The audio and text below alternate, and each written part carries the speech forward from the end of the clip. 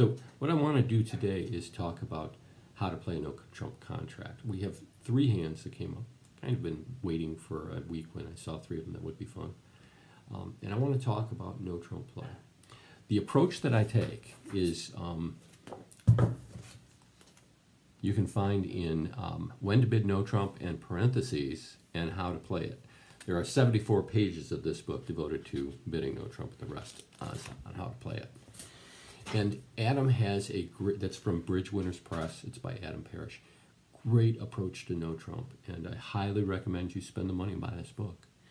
What, what the approach amounts to is counting your sure tricks and then your guaranteed and possible tricks. So there are three types of tricks you're going to get, right? Ones that are off the top, right? Ones that you're almost guaranteed to get, and then ones that you have to work on. Um, by doing this, by analyzing each suit for potent, for top potential, eh, for sure, and potential tricks, you generally find out where you need to get to work at.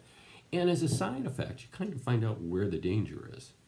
Right? So here I have six points. This is not a three diamond or two diamond bid. This is a one no trump bid. Um, balanced hand, no majors and your partner raises you, of course, you're not all that excited about that because you are, of course, not interested in the game. So let's count, and partner has a great hand. Let's count our top tricks. Right? These are tricks you don't have to do any work to get. Ace, king of spades, ace of hearts, that's three. Ace, king, queen of diamonds. Right? That's six. So here we are we were a little worried, but we're already at six tricks, right? And we're only looking for two more.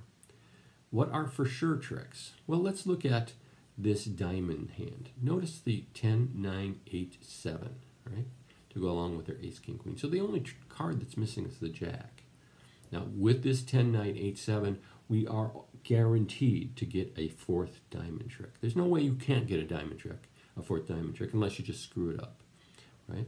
But the diamond suit also gives us the potential for a fifth trick, right? Which is if the jack of diamonds falls, or we can finesse for it. We could get five diamonds. We got a heart, that's six, and the ace king of spades gives us eight. And there's our eight tricks. Are there any other potential tricks? Well, sure.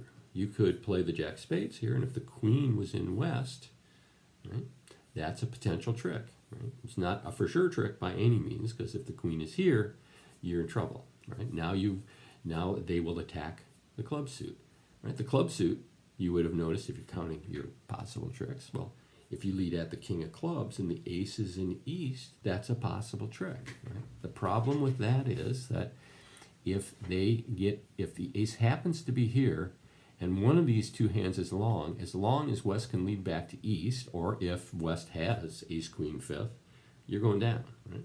So we get into the situation where we can never have a lead going through the king of clubs. East can never be on lead, right? So on the first trick, if you immediately reach for that jack of spades, you could find yourself in trouble. Because if the queen is here and they figure out to switch to clubs, down you go, right? So that's a possible trick in clubs, but it's one we're never going to try for, at least until we have our contract made. Um, and we are never going to take a risk on the first trick here and put that up. We have our contract, and you don't, even at match points, don't want to risk your contract. You can risk over tricks to try and make more over tricks, but you don't want to ever waste your risk your contract. So, King of Spades. So, when I looked at these hands, right, it was clear the diamond suit was the one where we had four tricks and maybe five, and it's the one we want to work on. Everything else is stoppers. Everything else in his hand is stoppers, right? So when you have this situation with Jack fourth, what you want, I mean, with uh, five versus four, the only danger is Jack fourth. You just need to make sure you get on the right side of that. Um, it's hard, uh, generally speaking, the way to do that, especially where you could finesse either way, is play one honor from your two honor hand. And if you do that here, of course, you find out that West was Jack fourth and now there is no difficulty. He's only got Jack second now.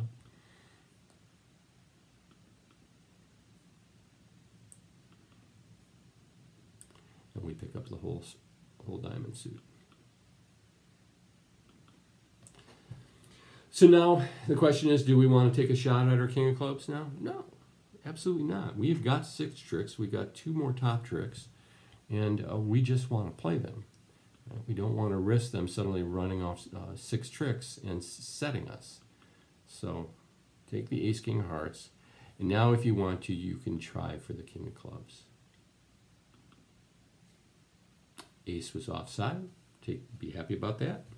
It means that somebody who wasn't as thoughtful as you were didn't uh, get lucky. And um, and that's all the tricks we're going to get, so I'll just claim.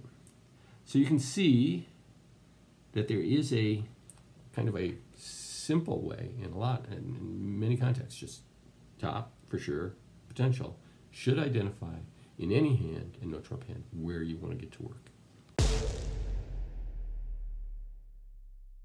So why don't we take a look at board six next? This is a really fun hand.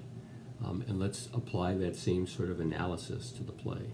Top tricks, guaranteed tricks, or for sure tricks if you're a Midwesterner like me, and um, potential tricks, possible tricks, to try to come up with a plan.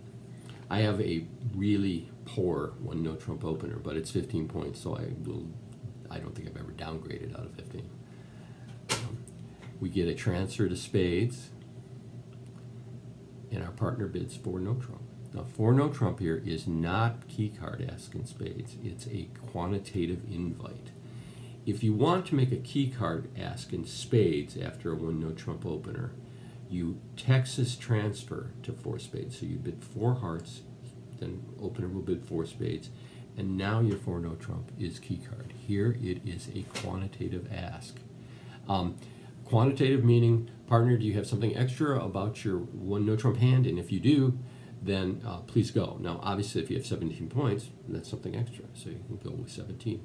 But beyond that, you need to look carefully at your hand and decide whether your hand has the potential for taking more tricks than it would uh, appear by just looking, saying, hey, I opened one no trump. Let's say you had ace, king, queen, fifth of, of diamonds, right? Good chance you're running the diamonds. That would be a reason to go, even if you only had 15 or 16. So you're looking for extras. Here, of course, as we, as I said when I opened, this is it's not a very good 15 pointer. So of course we're going to pass.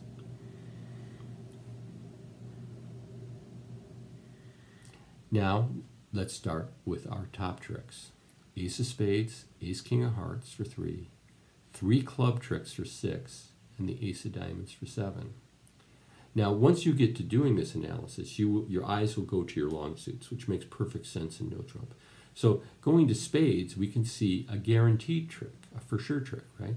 There is no way that you can lose both the queen and the jack of spades, right? Because there's only one king of spades out there to take it. Right? So you can't lose both. So you're guaranteed another trick in spades. So that's one top trick, one guaranteed trick, and then there's some possible tricks. What are the possible tricks? A finesse for the king, right? A length trick.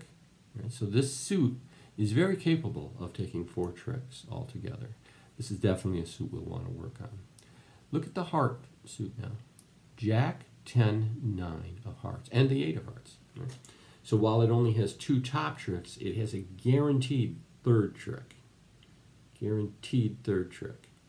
Um, so if we get four spades, three hearts, three clubs, right? We're making our contract, especially with the ace of diamonds. Um, possible trick, also extra trick in hearts too, right? Because there's a finesse for the queen. Um, another two, it's a two-way finesse. Um, it could be taken from either hand, which means we'd have to guess it right, or they would have to lead the suit for us. And then finally, in diamonds, we don't have any guaranteed tricks or for sure tricks, but we do have a possible trick in the queen of diamonds, a possible trick in the ten of diamonds for that matter, but not a hand that we actually want, not a suit we want to work on. If diamonds get led, we're happy. We can we can make things happen if they lead them, but um, we don't want to open that suit. We want to work on our spades, which is where I'll start.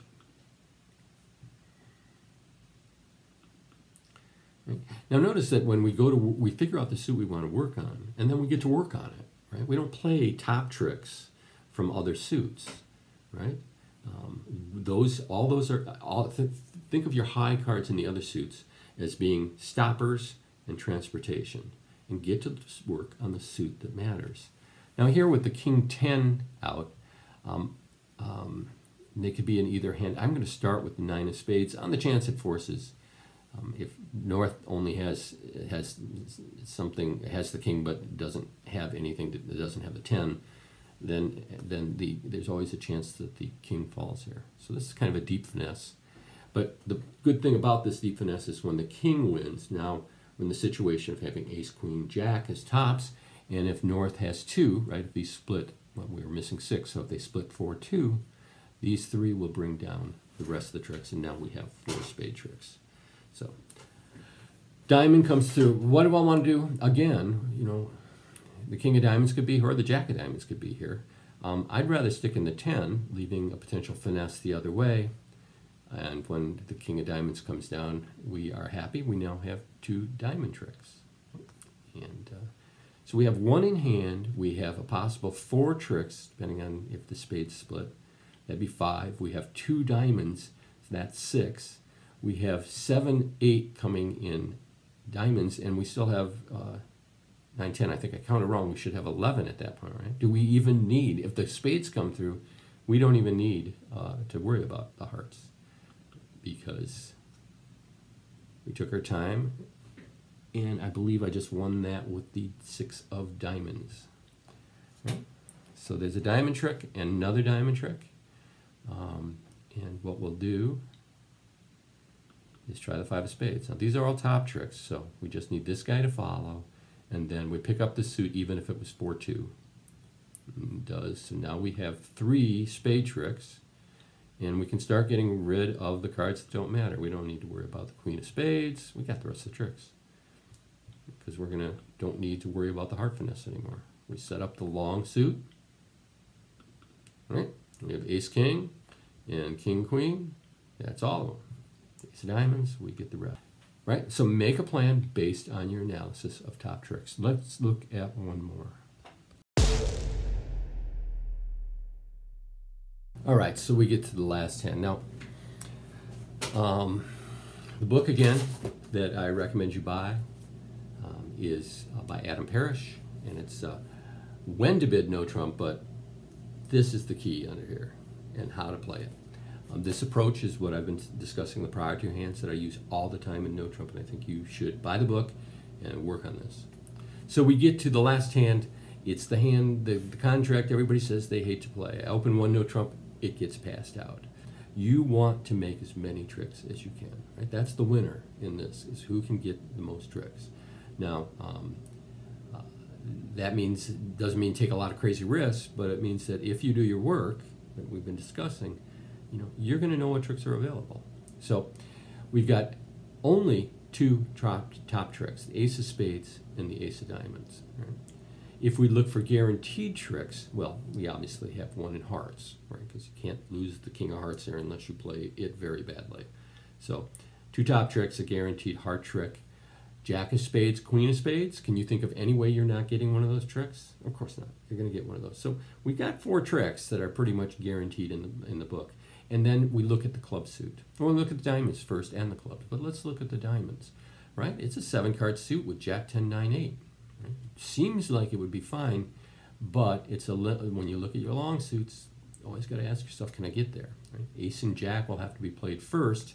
The Queen and the King will not drop under those, which means you can get over there with the Ace of Spades and play another and maybe clear the suit, but this all depends on, on a defender not letting you get back up there with the jack of spades. So diamonds don't look like a good suit to work on. Um, in addition, you have a much better suit here. This is one card less, right? But with king, queen, jack, 10, missing the 9 and the 8, right? This is a, a suit, a hand that has three guaranteed tricks um, and another one possible. So there's four tricks possible there in clubs, right? And there are only three more possible in, in diamonds. Um, and it's clear that that's the suit we need to work on. Looking at the lead, the seven, right? It, that means there are four higher. South should have two. We really don't know, especially since these are the robots and they don't always routinely play the, their fourth. Uh, we don't know which hand has it. Uh, has um, five hearts, if five hearts are indeed out there. Right? This King of Hearts is a guaranteed trick, of course, but we don't have to play it immediately. We can find out what's going on. There's one of the two cards that would be higher if the Rule 11 is applying. There's the other one that's higher if the Rule of 11 is applying. applying. I'm going to duck it. See what happens. If he leads another, then, then he's the hand that could have five. But instead he switches. So, right? And now uh, switches to clubs. And uh, we clear the suit. Now just need the nine there. And we get a heart lead back and avoid. So we found a five card heart suit, right? This was five hearts. It was five, three, three, two, with the two that he was holding being the ace queen. So this is all good. Now we can start playing off our clubs. Remember, we started with six of them. Had the jack up there, right? which means there's seven out. Uh, they both followed twice now.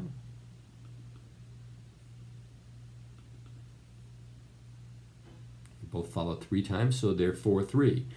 And Someone is going to put down the nine of clubs here. And there we are. So, taking a moment to reflect here, that means that North started with five hearts and four clubs, or a nine. When you're learning how to count cards and distribution, those nines are wonderful. So, um, he's got four cards left. They're in spades and diamonds, and the sharp suits, the pointed suits, right? So we win that one. There was a diamond. That's not very helpful to us. There's a heart, right? Remember, he started with five. They were led three times, so he has that's one of his. He has one heart remaining. There goes a spade, right? So the spades are now down to five out. Now, here we are at five, and we're guaranteed ace diamonds, ace of spades, and we're also going to get one of these. Um, all of the suits are controlled. There is one heart over here. All I care about on this now is that I really don't want North to be on, able to cash his heart. So when he covers this eight of spades, I'll put up the jack, which holds, right? And now he uh, now I'll play over to my ace of diamonds. And he throws the queen. Now this is this play to the ace of diamonds is is great because now I know what the distribution of the hand is. He's not putting the queen of diamonds under the ace if he has another one. So he now has in his hands two spades and one heart, which means that I can pick up the rest of the suit. Well, I don't need to pick up, I can just pick up one more actually. Right? Maybe I should have finessed a different way and then I wouldn't I would have an extra spade up there and I would have making 10. But I'm certainly happy with this. I was able to figure out the hand, right? And I've just followed the analysis that I started with, which was, you know, work on the clubs, work on the spades. Those were the hand. Those were the suits in which I had extra tricks. Um, works out really well here. I make 150. Probably get a fairly decent score in most games. All right. So that's how you do it. Um, um, stop fearing no trump and just get a process. Right? Get a process, and you'll be fine.